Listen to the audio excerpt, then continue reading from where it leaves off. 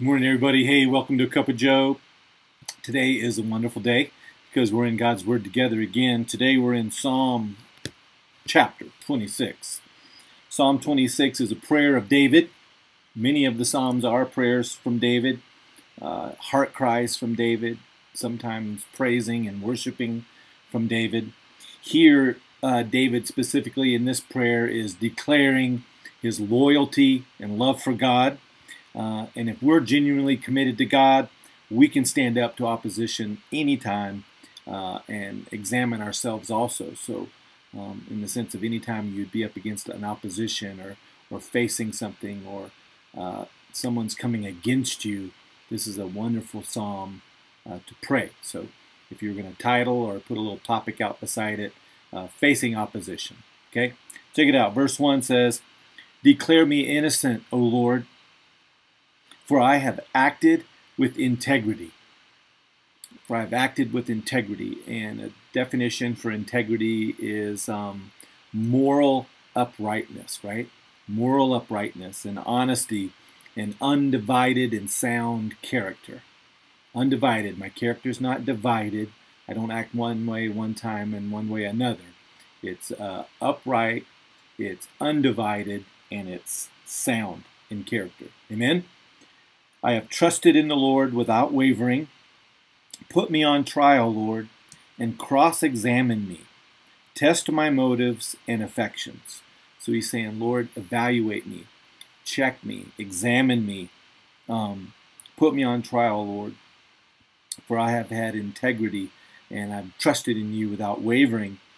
You know, test my motives and my affections, for I am constantly aware of your unfailing love the only way we can be constantly aware of God's unfailing love is to be in His Word as we are today, regularly. As we're in His Word, uh, we know that in the beginning was the Word, and the Word was with God, and the Word was God. And later we read that, um, and the Word became flesh and dwelt among us. So we know Jesus was the living Word, right? So the more time we spend with Jesus, by His Holy Spirit in us, the fruit of the Spirit, which we know the first fruit mentioned is love, right? That that love uh, uh, will be uh, um, emitted or come forth from our lives because we're spending time with the Lord.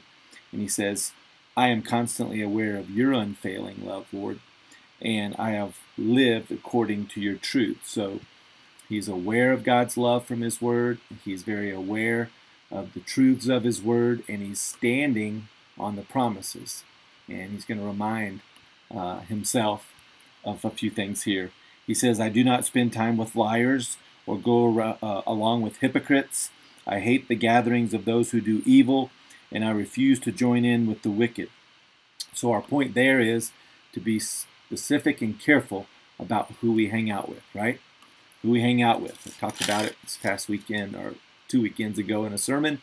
Um, it's all about we can be friends to certain types of people, and then certain types of people we can be friends with them. If they're character and if they have character and moral uprightness, we can be with them, teamed up, and move about with them. Um, but if they're not of that character, um, it's not good to be teamed up with them. We can be friends to them, loving and caring to them. I wash my hands to declare my innocence. I come to your altar, O Lord singing a song of thanksgiving and telling of all your miracles. I love your sanctuary, Lord, the place where your glory shines.